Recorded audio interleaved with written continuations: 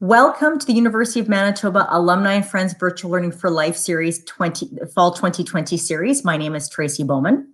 I'm the Director of Alumni Relations here at the University of Manitoba and also a very proud UM alumna, and I'll be the moderator for today's session.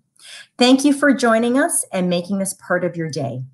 We've been able to offer this program free or complimentary to all of our alumni, our 148,000 alumni living in 140 countries around the world, thanks to the very generous sponsorship of one of our affinity partners, IA Financial Group. Many thanks to them for their support. Delivering learning for life opportunities is very important for the University of Manitoba, and we're very proud that we're able to feature so many of our leading researchers and professors in this way. So just a few housekeeping details before I introduce today's speaker.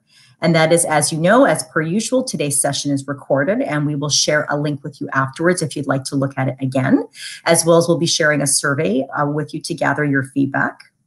Again, as usual, we use the platform called Slido. That's www.sli.do. And we use the, we'll be using the password VL02. So we encourage you to use that platform to ask questions, and I will be monitoring that platform and then asking your questions to our speaker on your behalf please feel free to ask questions throughout. I will be checking it.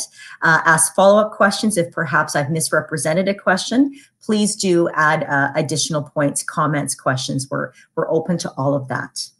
And we'll try to get through as many as we can at the end of the presentation. So now I'd like to introduce today's speaker, Dr. Jayanne English. She will be presenting on the topic of cosmos and canvas, using art to reveal science in astronomy public outreach images. And let me tell you a little bit about her uh, before she gets going. She's an associate professor in the Department of Physics and Astronomy, uses space-based and radio telescopes to help trace elusive dark matter to investigate how galaxies form radio halos as well as develop peculiar shapes while gravitationally inter interacting.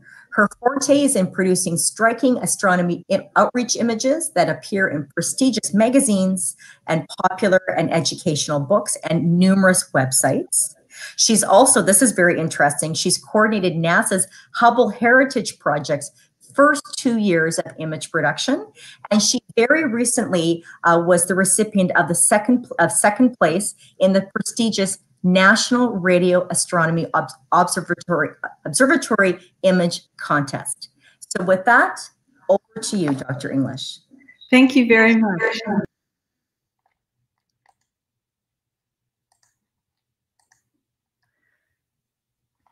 Okay, and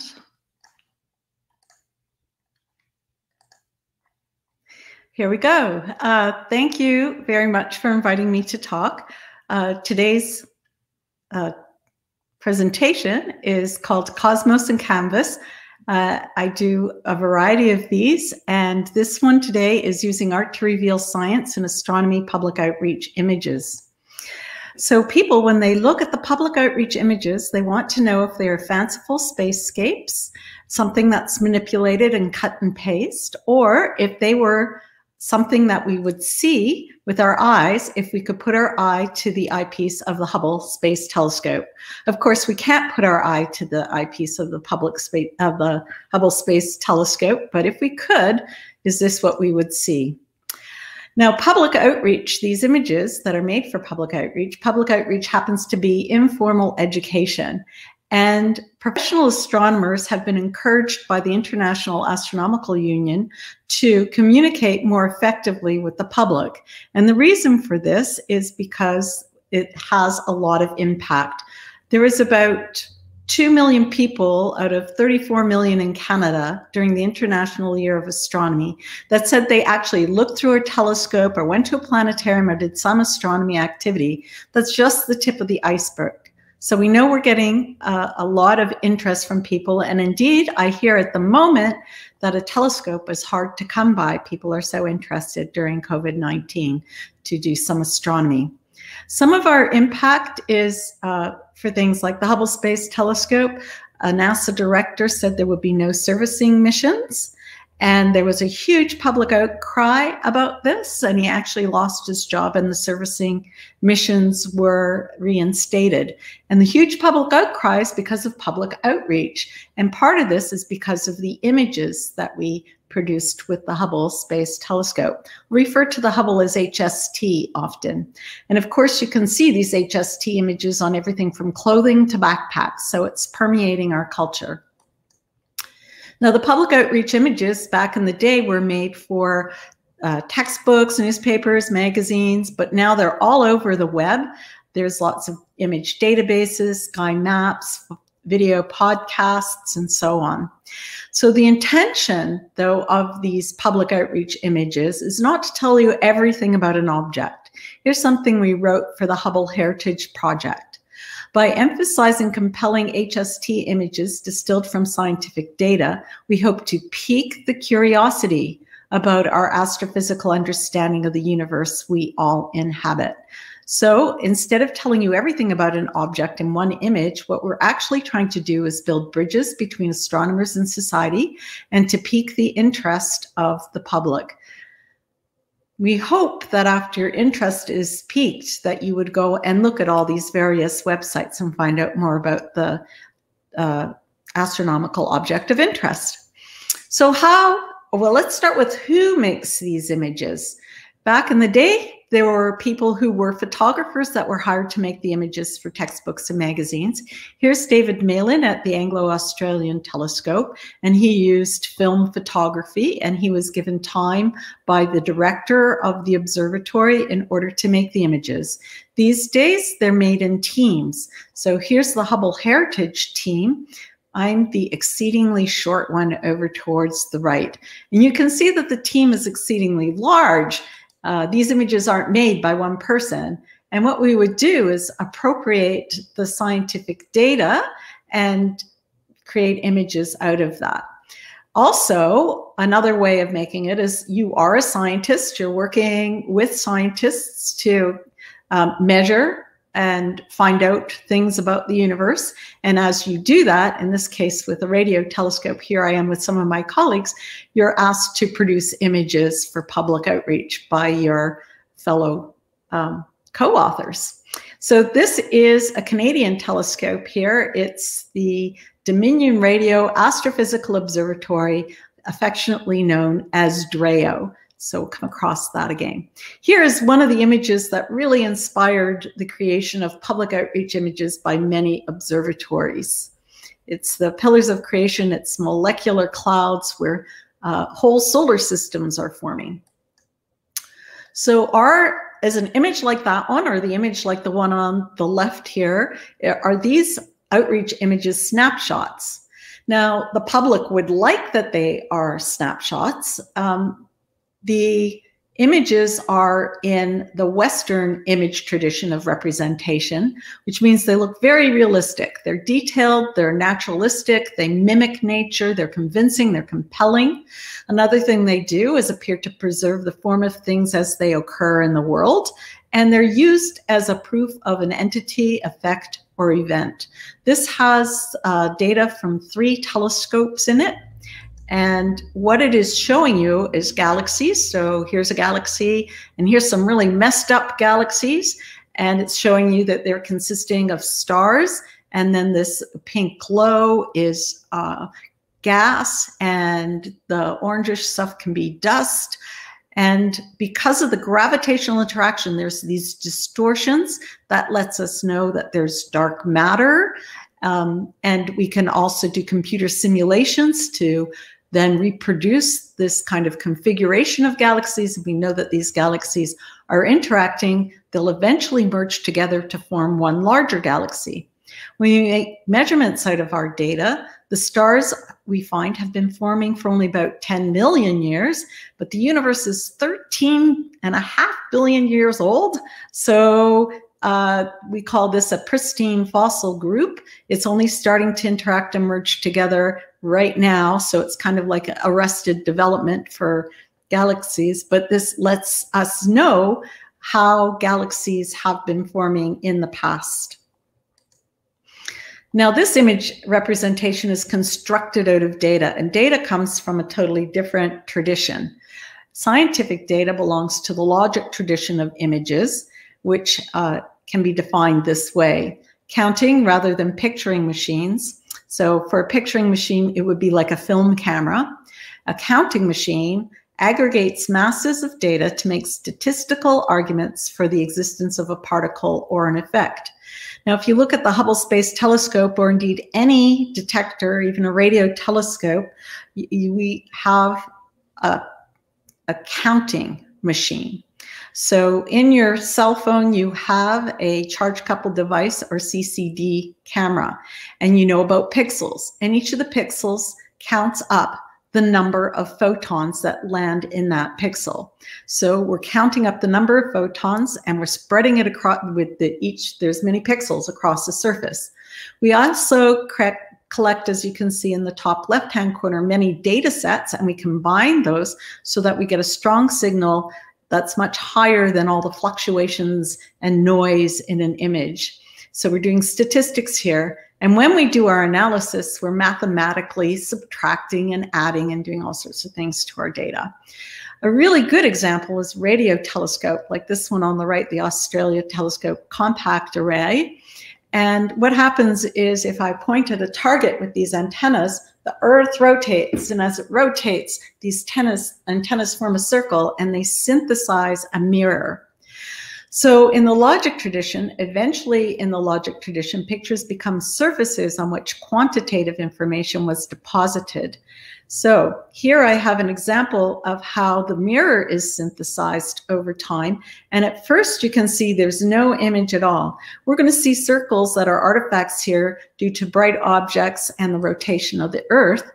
But over time, the measurements have been laid down and we can see in the center something that's called a supernova remnant. I'll talk about that in a moment.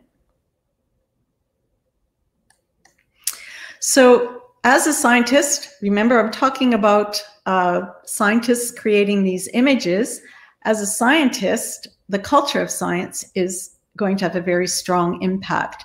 If the science is clear, as in a contour plot like this, then the astronomer feels the image is incredibly appealing. Like you can see all of the places where stars are forming. Indeed, they're even labeled, but the public doesn't find these images intriguing at all. So what we do is we use techniques from visual art and design to create appealing versions. So here's the same target here with the Hubble Space Telescope imagery, and it's not a contour plot.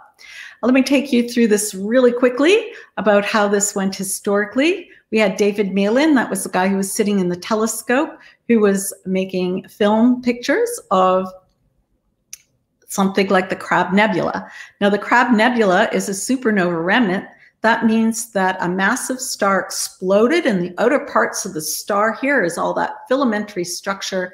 In the center is left the core of the star and it's incredibly densely packed. So we call it a neutron star and it has these beams of radiation coming out from the core of that star. And if the star is rotating in a way where the beams face us, we get these pulses. So we will call that star not only a neutron star, but also a pulsar. Okay, so here we have a supernova remnant, the outer layers of the star on this filamentary structure. And we can see that it's pink, and that's because there's hydrogen there. And this image, if your eyes were as sensitive as photographic film, this is the color you would see for this supernova remnant. So if you ever want to know what the color of an object is, try to see if David Malin has done it for the Anglo-Australian Observatory. But your eyes aren't very sensitive detectors. Another way of having public outreach images disseminated is just to take those contour plots from a scientist and put them into the public. Again, that's happening now. So here's Hubble Space Telescope data that's been made into an image by a scientist and for him, he goes on about see how the faint blue glass gas seems to envelop other colors. And it gets really very complicated what he's trying to describe, and we all get lost. But for him, the scientific meaning is much more important than the aesthetic. And he's trying to tell you about the density of the gas and the temperature of the gas and the chemical composition of the gas. Well, you can do exactly the same thing Uh, in this image here, we've zoomed into the heart of the Crab Nebula. The pulsar is right here. And we can see all the filamentary structure and the color coding tells us the temperature and chemical composition of the gas. So we retain the scientific information, but the aesthetic, it's now much more detailed. It's much more in the image, the Western image tradition, and the aesthetic is as important as the content. So how do we go from the logic tradition images to the uh, Western image tradition images? Well, I'm going to take you through that. First of all, we have to start with the electromagnetic spectrum. And here we see on the uh, left-hand side, we have high energy like gamma rays. And on the right-hand side, we have low energy like radio waves. Now we're looking at light as if it's an, a wave. And right in the center here, the visible light, it's very small part of the electromagnetic spectrum. So when we're looking at it in terms of waves, we can look at the distance between the peaks, and they're very short at high energy, and they're very long distances between the peaks at low energy. And we call the distance between the peak the wavelength. So now we have this little arrow showing us the wavelength. And I'm going to talk a lot about wavelengths. We want to use our detector to capture all of the energy we can so we don't use any of it to encode color information.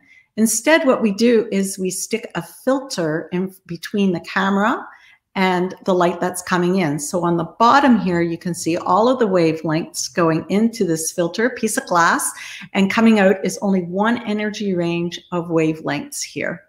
And if you look at images taken by the Hubble Space Telescope, you'll see in a range where our eye does not see in the ultraviolet, we have filters that produce different images then when we look uh, at filters that are in the infrared, again, we don't see this with our eyes. You can see the distribution of light is different.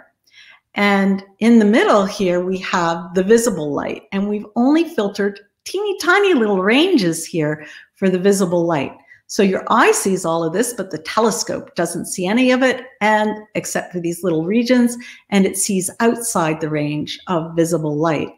And we select these particular filters because they will tell us what the star's ages are, what their chemical elements are, and so on. So we don't make it to match our eyes because we want to figure out physical characteristics of this galaxy. We have to now take the black and white data and uh, we want to then assign colors to the black and white data and combine them. And then we'll get an image like this that shows us old stars are in the center of the galaxy, young stars and hot gas and dust are in a ring around that center. How do we uh, colorize the images? Here's an example in this little video. I have three black and white images and the one that's in the infrared, I'm gonna color red. Uh, this is using GIMP, you can use Photoshop. The one that's visible light, I'm going to color green, and the one that's the uh, ultraviolet light, I'm going to color blue. And that's the start of making a colored image for Hubble Space Telescope. Now, the Hubble Space Telescope uses these sorts of filters. They tell you, uh, this tells you how how much light the filter is letting through when it's up high like this and it's dropped off, not much light is coming in down here. And down here are the distances between the peaks in the wave.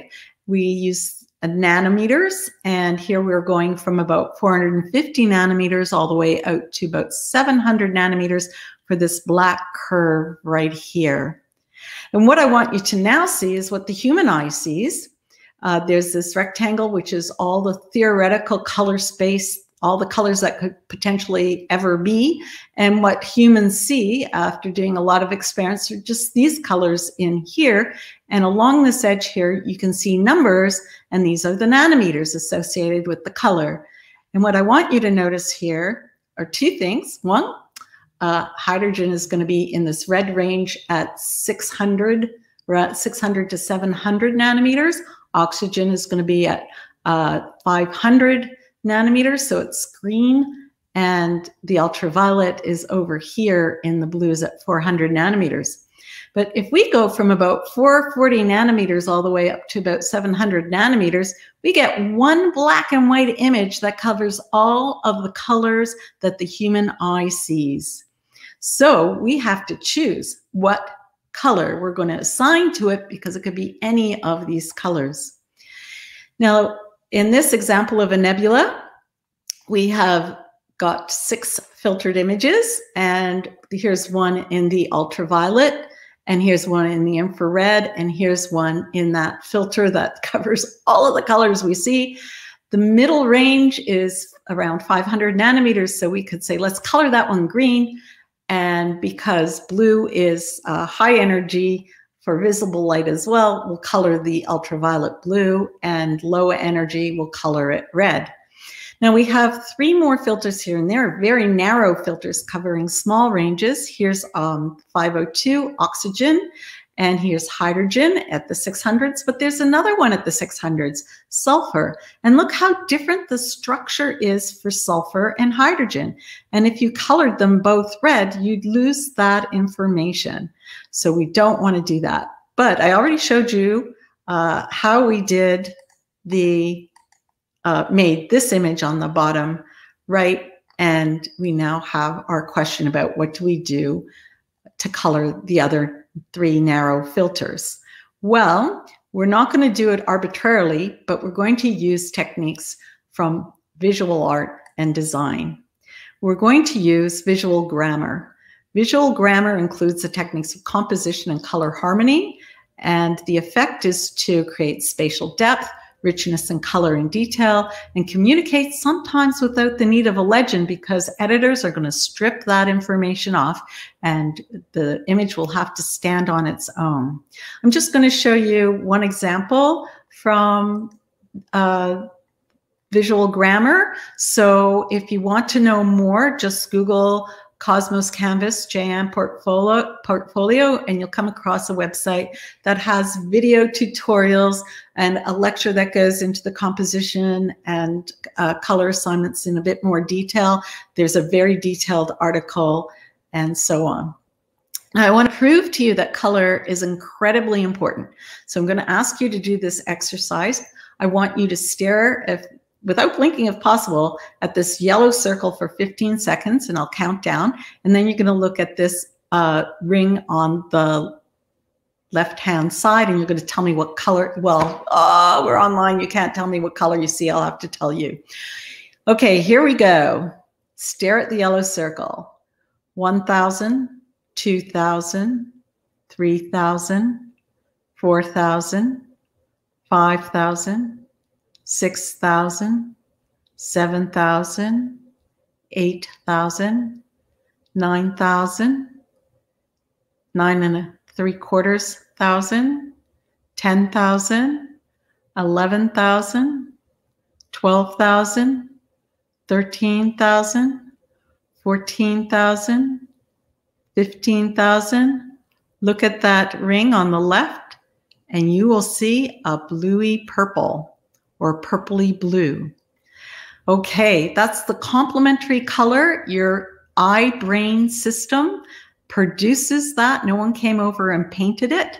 So when we're making images, we can work with our physiology and use complementary colors to make an image that people will be engaged with. An easy way to, uh, or tool that's easy to use to determine complementary colors uh, is the color wheel. On the left-hand side, if you're using computers and light, you will have uh, three primary colors. As you saw, if we stared at yellow, we got a purpley blue. We call it blue, but really it's this blue-violet color. Same for the red, it's an orange-red color. If you stare at red and you'll see cyan or vice versa to get the complements. Now, uh, there's also up here a term that I'm saying we're making harmonious compositions, you will notice that if you add uh, green and magenta together, you will get white. And that's a technical term, harmonious. It means that you will add together to a nice pure white if you've done this correctly. Doesn't mean it's a compliment uh, as in flattery. Instead, it's a technical term. Uh, so you can also split the complement, which means you could take green and go equal distance from the magenta on the color wheel to the red and to the blue. And when you do that and you add green, red, and blue together, you will also get white. So you can split the complement to make a harmonious image. So these are things we keep in mind when we're making our images. I just want to show you one example from composition and visual grammar. These two circles are exactly the same size, but one of them is going to appear larger or pop towards you for about 80% of the population. And that's the red one. So artists call anything that pops forward warm and anything that goes back cool. Uh, yes, that's different than the scientists who call blue hot and red cool. So keep that in mind. I might switch into art speak and talk about warm and cool for warm things coming forward. And this tells us about how we could color these three filters. Green is going to be cooler than magenta. It's going to go back. So we can color it that way. And we won't use the two reds together here because then we lose this different structure from the two different elements. And instead we create an image that looks like this. And the green is uh, sitting closer. Instead of coloring this all magenta here, we've colored it green, which is cooler, which means if you look at this image for quite a while, the star cluster here is going to sit forward of this cooler color. And you'll notice that it's green and pink or green and magenta, and those are complementary colors, so they keep you engaged in the image. Okay, we're using a lot of art technique here. You might ask, well, how much are you manipulating them? Not really. We're using techniques from old film photography. And uh, when you look at a group of galaxies like this, it's not a montage if it's coming from the Hubble Space Telescope. You can be assured that these are distorted galaxies that live in this little group. So I want to do a really quick uh, recap here before I move on. Be suspicious of statements like Hubble snaps images of or this true color Hubble Space Telescope images because you've just learned that it's not a snapshot it takes time. You collect the photons, you use multiple data sets. Uh, usually there is a non-optical filter like infrared or ultraviolet, and the image is not what your eye would see if you put your eye to the Hubble Space Telescope eyepiece. You might be curious now about what you would see. So here's a planetary nebula. I'll talk a bit about these kind of objects in a little while. This planetary nebula is in a globular cluster, and the globular cluster has a, a million stars in it, glob of stars. Uh, if you put your eye to the eyepiece of the Hubble, it doesn't have one, but if you could, then your eye is not very sensitive to color when things are faint. You're not getting any photons. And it could at best look greenish to you. And remember I said green was at 500 nanometers and that's going to be oxygen.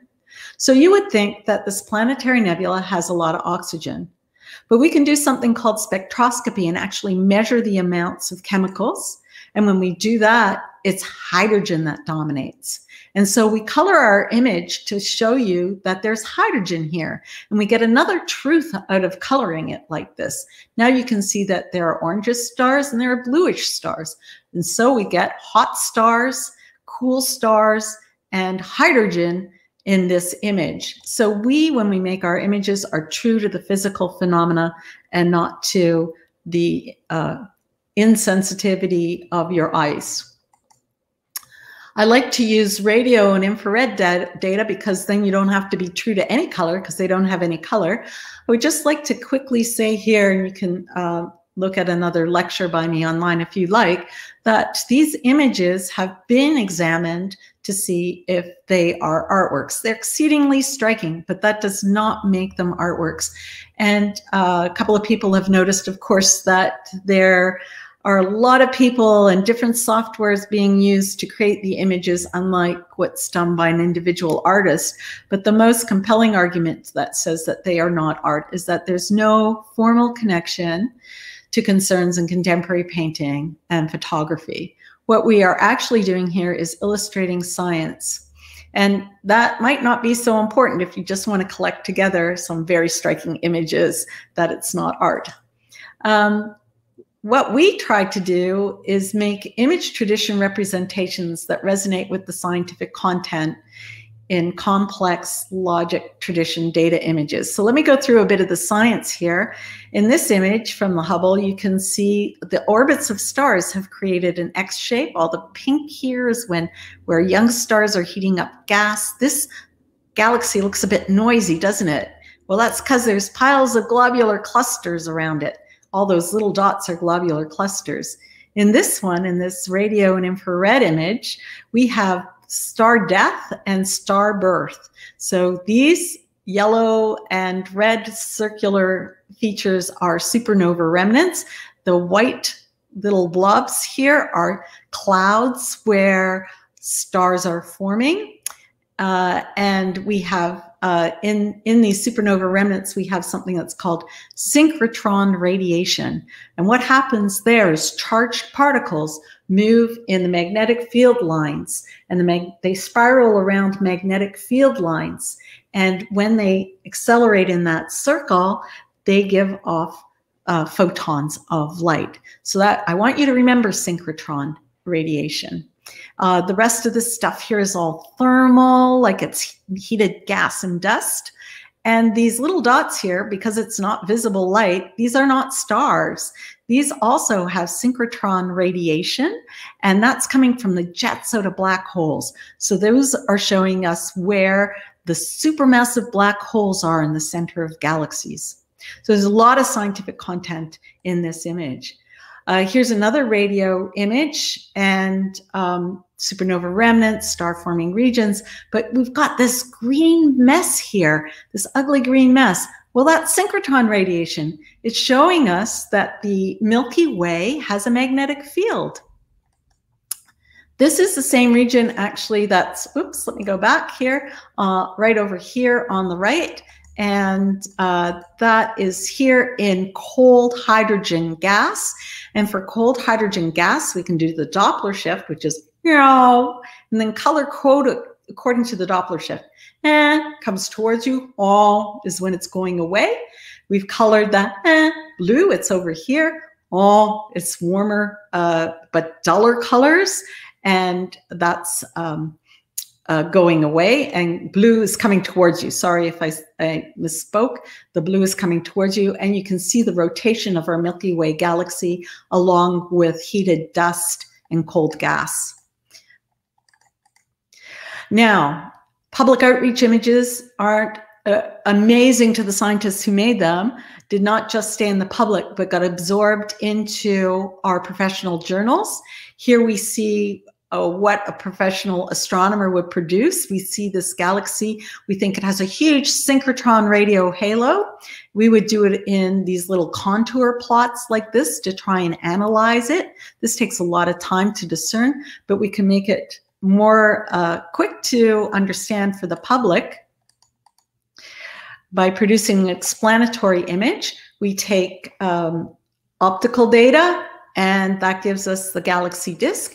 Then we take the radio data, and what we discover is that behind this optical disk is a background galaxy with a black hole with jets, much, much further away than the disk is. It's just a coincidence that the uh, synchrotron radiation from this background black hole is uh, perpendicular to this disk. Nature pulls a fast one. And combining those together, we get the image on the left, and that gives us um, a cover on a professional journal. So it's even uh, very clear to the astronomers. Okay, I want to tell you about one more technique that you'll be seeing in the images, and it's masking. So you take two different stretches. You've probably seen this on the phone that you can stretch to different uh, intensities when you have a CCD image. Here we see a beautiful textured ring in a planetary nebula, but you don't see the outer regions. And if you stretch it, you can see these faint outer regions. Now, if you put your hand up to mask out the light of the sun when an airplane comes by, you can see the airplane better. So what we're going to do here is create a mask and block out the light from the ring in this stretch of the image and combine them together. And that gives us an image with more physical characteristics shown. A planetary nebula is what our own sun is going to become. It's going to just kind of hiccup off its outer layers and uh, then leave the core of the star. And so this is maybe a configuration our sun will become. This is one I really love, and masking has been used for this one. It's also a planetary nebula. So where do we go from here? Well, we have a lot of frontier observatories, one in space, a lot on the ground, radio ones. It's just amazing what's happening. So we start to combine data from different telescopes now using the masking technique. This is a supernova remnant and the pulsar that was in the center of it, well, when the explosion happened, it was asymmetric and it got kicked out. And the pulsar is right at the tip here. This is the trail of the pulsar, and it's right there. This again is not invisible in optical light, but in two using two different radio telescopes. Now we can take also data from a bunch of galaxies and put them together. And again, this is synchrotron emission. This is, we've put together 30 galaxies here to, to show you what the halo looks like typically and masked in an image I made of a Hubble Space Telescope data of a representative galaxy disk. Uh, the newest things we're doing is we're converting vectors into filaments using an algorithm called line integral convolution. So what this shows us here is the direction of the magnetic field lines that those electrons are spiraling in to create that synchrotron emission. This is what the uh, scientist produces, but I want you to watch how you can join together these vectors and then mask in a Hubble Space Telescope disk, and you get all these filaments instead, which is a very engaging image of it. And it was mentioned that I won uh, recently a second prize, and it was for this image here of the magnetic field lines coming out of the Hubble Space Telescope image I created of this galaxy that we see edge on. Where are we going for outreach images? We're starting to use um, 3D virtual reality, reality like the Vive headset. We're doing, we did some of this at the University of Manitoba and also we're doing it at Cape, we collaborate with people like Cape Town University. Now, people are also making Western image tradition images, representations of computer simulations. That's because gravitational waves, we're going to move now to an era of gravitational waves, not just electromagnetic waves. They don't have images, but you can make images from the computer simulations of what's going on this is not a photograph of two black holes merging. It's an image made from a computer simulation, so be careful. I want to move into different audiences, not just those that are already interested in astronomy. So I work with composers and artists. And so here's something I've done.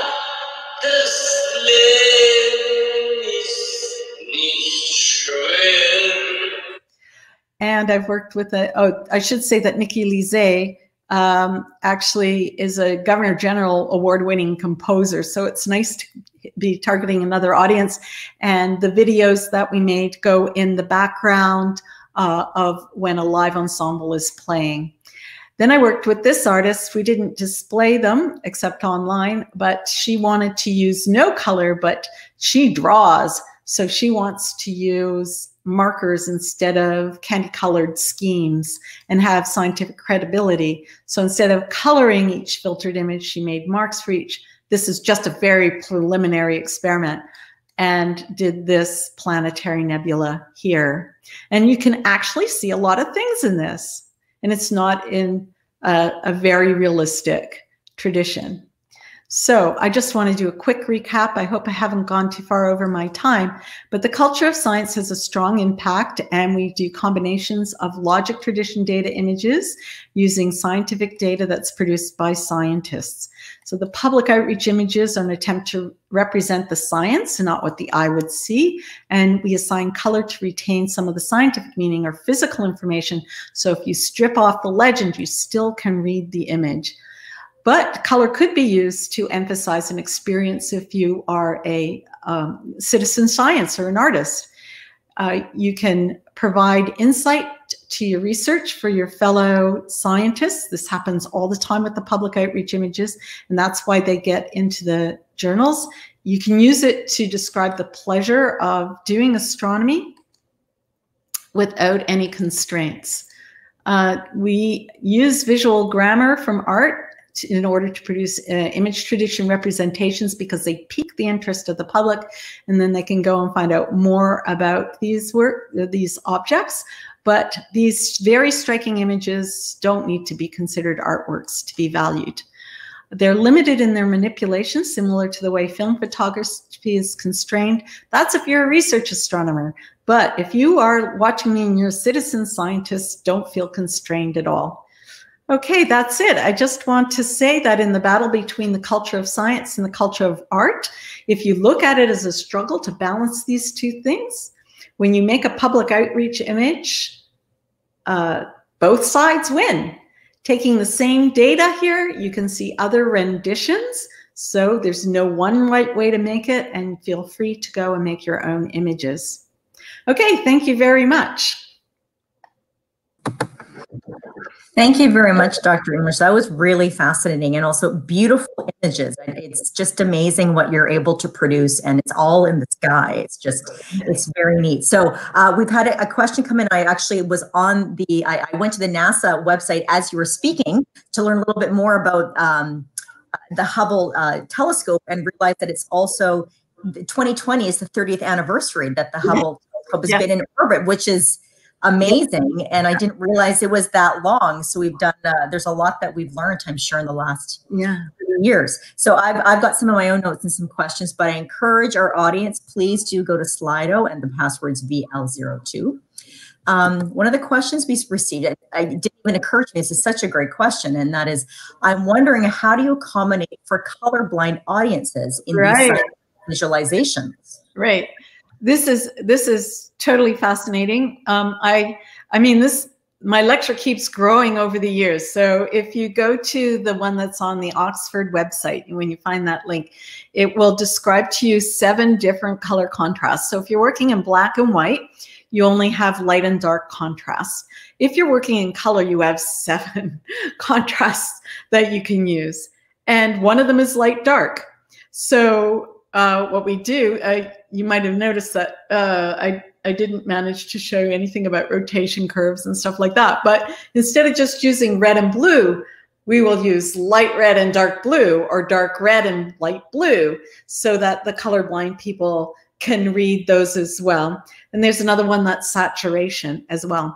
The problem for colorblind people is there's like a multitude of different types of colorblindness. So when they are testing your eyes, they actually use filters as well, and they use 300 filters. So that means it's incredibly, it, there's a, an incredible variety of uh, color blindness. It's impossible to compensate for that. I have had people, uh, I teach a course called The Art of Scientific Visualization, and we had someone in it who was colorblind. And what we all learned from this is not that we had to accommodate him, he had to accommodate us because otherwise his, his images were totally unharmonious we wouldn't look at them. And so that was the interesting thing that we learned. So we can do saturation and we can do light dark um, to uh, have a redundancy in our images that can help with color blindness. But if you're a colorblind image maker, you have to actually accommodate us as well. That's very interesting. Does that take into account also like layers and textures and because people what people see in terms of depth also depth per perception and those who have an astigmatism, for example, also see things differently too. Yeah, so we so that's why very that's why the Western image tradition representation is popular is because it's very detailed. So you get a lot, a lot of fine detailed structure. And that's why people like Hubble Space Telescope images because they're very detailed. But we don't accommodate, uh, we, it's hard, it's really hard to accommodate everybody. And the, the other thing too is we don't even accommodate by making a standard color table. You'll find that um, amateur astronomer groups will call something the Hubble palette. And we, Hubble uh, research astronomers don't use the Hubble palette. so we don't make a standard legend for things either. Every, it's, one size does not fit all. Every cosmic object demands its own color legend and own approach. Okay, great. A few more questions have come through. One one is, um, you know, what software do you use to create these representations? Okay, so that's really good too. So for the the stretches, remember I showed you the stretches of the planetary nebulae, and one is uh, saturated with white, and the other is got the nice textured ring. To get those really beautiful stretches, what we do is we use astronomy software. So the one I like is one that's uh, no longer functional. It's called the Karma Visualization Suite. It's no longer developed. It's functional. It works really well. And we're really reluctant to abandon it. It was made in the 90s. Um, so some of the functionality is now being ported over to another astronomy software package called Carta. But you can do this in, in Photoshop using an, uh, a plugin called FITS Liberator. And it will take, because astronomy data is in FITS format, it's a little technical detail here, but you can uh, use FITS Liberator and that can help you make a stretch. But um, if you're using a Mac or any Unix, Linux-based machine, you can download uh, Karma and use that. Now, once you have your black and white stretches, you put them out into, say, PPMs or something then you put them into something like Photoshop. I don't use Photoshop. I use the GNU image manipulation package because you don't have to pay for it. You don't have to pay a monthly fee. It works on any platform and I train a lot of people. So I can't be doing system administration and making people who might only use it for one workshop pay. So I just use the GNU image manipulation package. So go ahead, download that, put black and white images into it and go for it. You can make those layers like I showed and assign color to those uh, layers. I do have YouTube videos on how to do all that. And so where would we find those YouTube videos? Can you remind us again? Yeah, just Google me. You'll get to the uh, universe, my homepage, my old uh, retro homepage on U of M's websites. And then you just go to the link for um, my visualization pages. It tells you how to calibrate your monitor and then go to the YouTube videos. And there's a lecture. This is old. This is 2009. There's a more updated one on the Oxford website. But then after the lecture, there are all these very detailed how to make the stretches, how to assign colors, why you do this, why you don't want to do that. Yeah. Okay, so great. There. Okay, good to know. I would encourage everybody to do that uh, for all of our citizen scientists out there. Um, another question is, can this method be used to present false theories about the universe? And how would the casual observer know? Okay, so um, if we're doing it, so this is, again, remember I talked about editors stripping off the information, right? So in that case, yes, people, and one of the first images we ever made for the Hubble heritage team was appropriated by an, a religious group. They're put out there for free right? We don't track them. We don't make you pay royalties. So anybody can use them for anything, which is uh, can be disturbing. Um, can you, uh, but I want to go to the other end of the question here. Whenever anyone makes an illustration or takes a photograph, they're telling a story. They're not objective. It's not pure. They have a narrative. So all of the images that we make, we are presenting a narrative. So if I am telling you with an image from the Hubble and it's only Hubble data, I'm not telling you about the cold hydrogen gas that's there. I'm not telling you about um, the X-rays that are coming from binary X-ray, uh, binary stars that are emitting X-rays in that galaxy. I'm not telling you all these other things about the object. I have one illustration for one narrative that I'm doing to make that clear. And that's why we're piquing your interest and then asking you to go and look at a lot of other information. So what happens when a Hubble Space Telescope image goes out there, all the information will be stripped off. If it's put in a magazine, it won't tell you people made this image. It will tell you that NASA made the image. It won't tell you what the goals were of the scientist. It won't tell you what decisions the image maker made.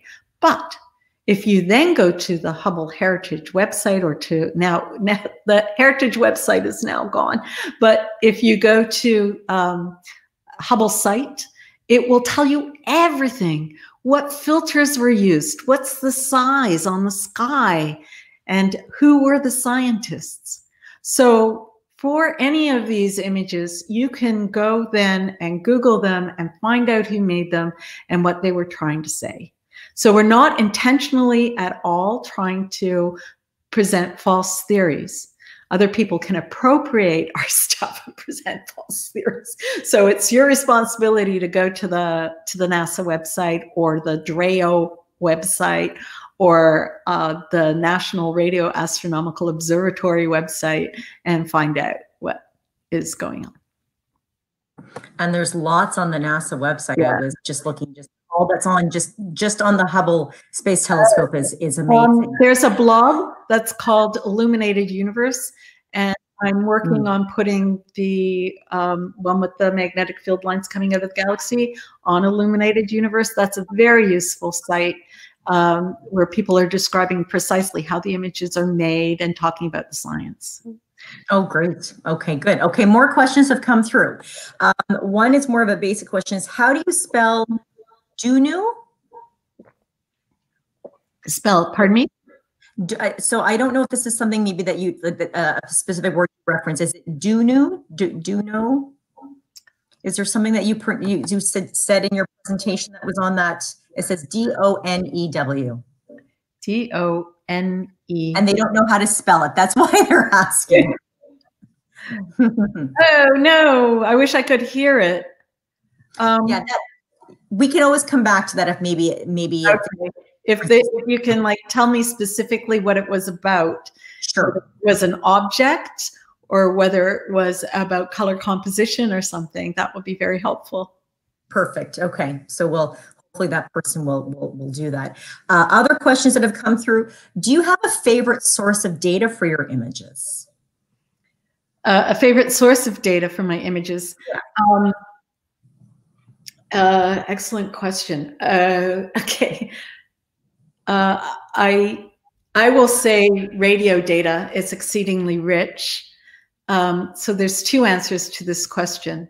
So for me, for the frontier, it's going to be the so we've been talking about the Hubble Space Telescope. That's not the premier telescope that we've produced.